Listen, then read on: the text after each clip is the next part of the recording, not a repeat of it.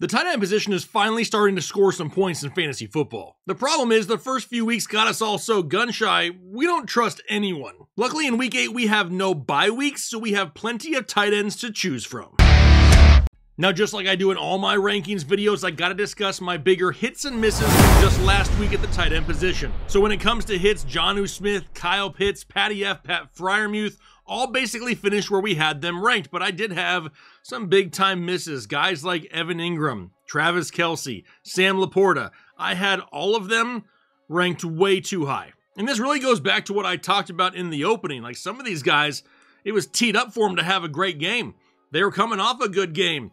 They absolutely just gave you the fantasy finger last week. But now, hopefully with no byes this week, hopefully there's a little bit of normalcy at the position. So let's go ahead and dive into tier one of the tight end position here for week eight. And right here in tier one, we got Brock Bowers, George Kittle, David Njoku, and Trey McBride. Now for Brock Bowers, he's going up against Kansas City. He's the current tight end two overall in fantasy football. He's had at least 11 fantasy points in three straight. He's had 10 plus targets now in three straight, but they could be getting Jakobi Meyers back into this offense. I'm not worried about it. If they want to have a chance at beating Kansas City, they need Brock Bowers because the Chiefs allow the most fantasy points per game to opposing tight ends. Then we go down to George Kittle going up against Dallas. He's the current tight end one overall in fantasy football, but he's questionable to play with a sprained foot. Now, obviously, if he's good to go, he's a high end tight end. We know Brandon Aiyuk is out. We know Deebo is sick, and Jauan Jennings is currently questionable with a hip injury, and he didn't even play last week. So as we head into the weekend, if George Kittle is active, he's in our lineups. Then we go down to David Njoku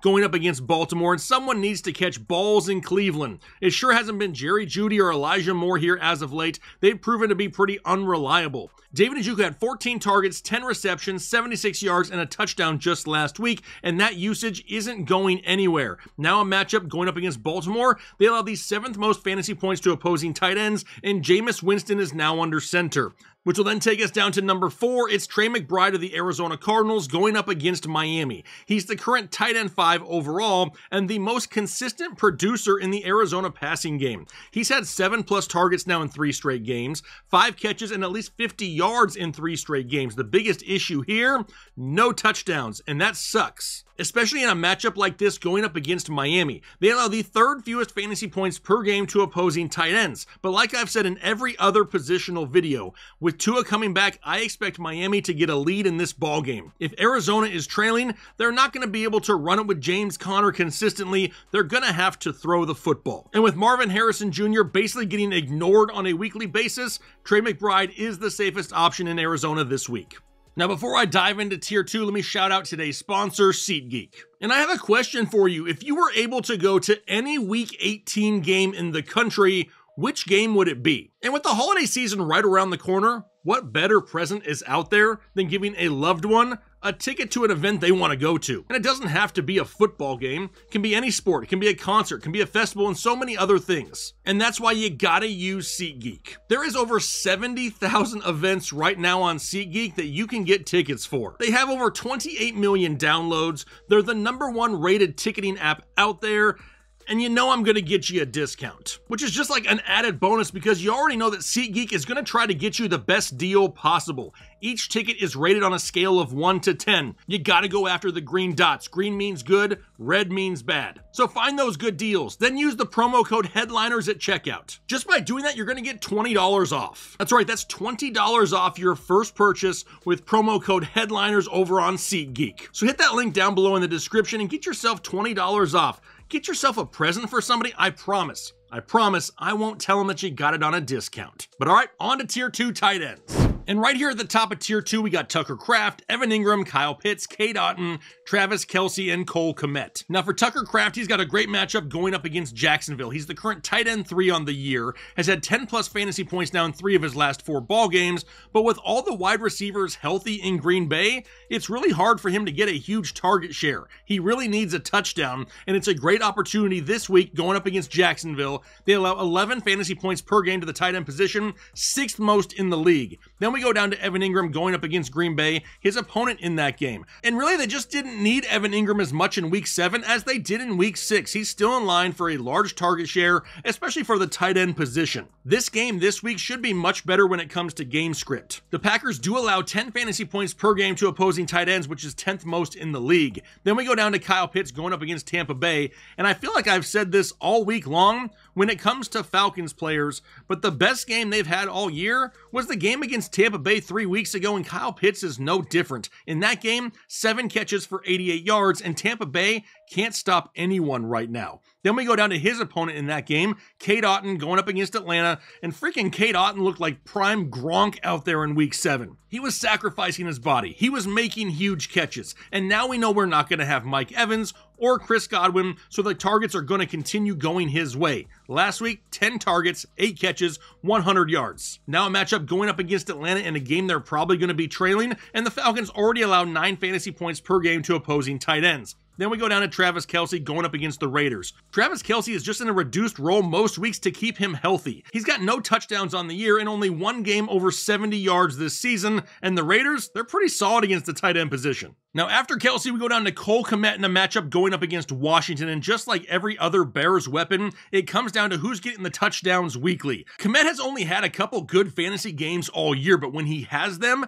they are matchup winning. He's super boomer busted in a matchup going up against Washington, which could turn into a shootout. They allow 7.7 fantasy points per game to opposing tight ends. Then let's move down to tier three, where we have Jake Ferguson, Mark Andrews, Sam LaPorta, Dalton Kincaid, and Patty F. Pat Freiermuth. Now for Ferguson, he's coming off the bye, and he had a bad week six right before the bye as well. Only three catches for 11 yards in a game they were being blown out by Detroit. But Dallas is going to have to throw the ball a lot this week against San Francisco, and they allow eight fantasy points per game to opposing tight ends. After him, we go to Mark Andrews, who's closing out the top 12 here in a matchup going up against Cleveland. And Andrews started the season with five straight crap ball games and then has blown up in the last two, and now all of a sudden is the tight end nine overall on the season. The injury to Zay Flowers can only help Mark Andrews, so that's definitely something to pay attention to here rest of the week. It's also worth noting that Andrews was saved by touchdowns in both of the last two ball games. Can he find the end zone this week against Cleveland is the biggest question because they allow the fourth fewest fantasy points per game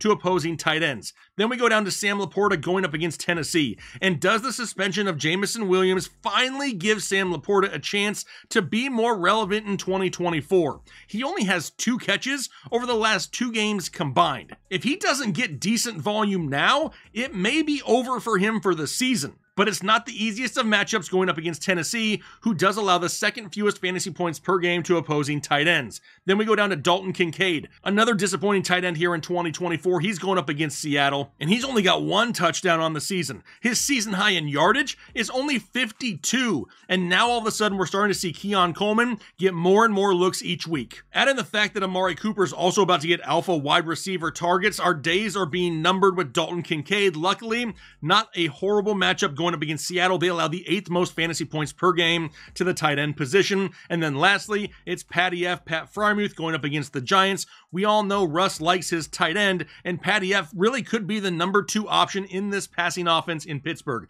He's currently the tight end 11 overall, not a super high ceiling, but the floor each and every week should be fairly safe. And that'll get us through our top 15 tight ends here for week 8 fantasy football. Now, I know for a lot of us, when we're trying to set our lineups at the tight end position, it's just like throwing a dart. And really, the only thing I can tell people is just chase the targets, find the volume, at least have a guy that has an opportunity at reeling in a few catches. Now, if you enjoyed today's show, do me a favor by hitting the like button and subscribing now. Because I hate to tell you, if you don't subscribe right now, your tight end's probably only going to score two points this week, and you're probably going to lose because of it. But I'm going to go ahead and get out of here day Hopefully, you enjoy the rest of your day, and then most importantly, do your part to make the world a better place. Analytics all the chain, the channels not the same. Jake and Kyle, you know the name.